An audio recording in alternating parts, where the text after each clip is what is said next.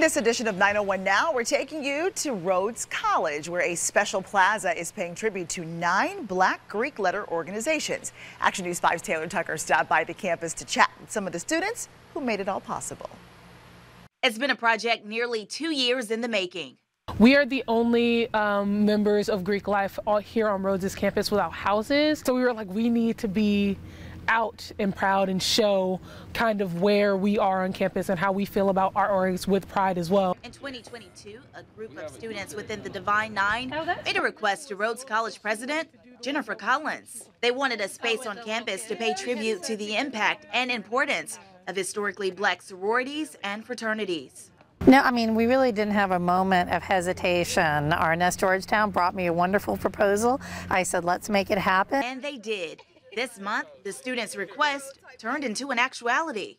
So when people started to pull off the plaque faces and I could finally see like the Delta One, the Sigma One hours, I really was like, oh my God, it's real and it looks beautiful. I wouldn't say it's disbelief, but it's just, it's kind of like awe. I'm kind of like, wow, it was, just an amazing accomplishment, but I think it just speaks to what kind of institution Rhodes is. And so to see that it's finally happened, it means so much more than just the concrete, so much more than just the plaques. It means that this campus is becoming an environment that is opening and welcoming to black students and their culture. Now, in the heart of the campus, you'll find nine plaques displaying each organization's national founding date, colors, coat of arms, and motto.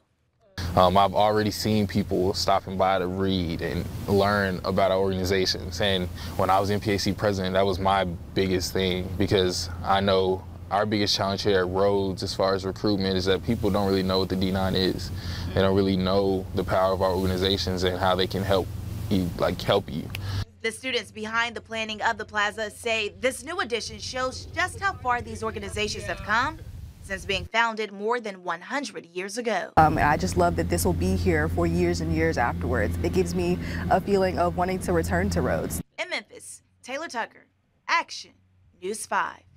Great story, Taylor. Now, if you want to see the new additions for yourself, the plaza is located near the Bryan Campus Life Center over at Rhodes.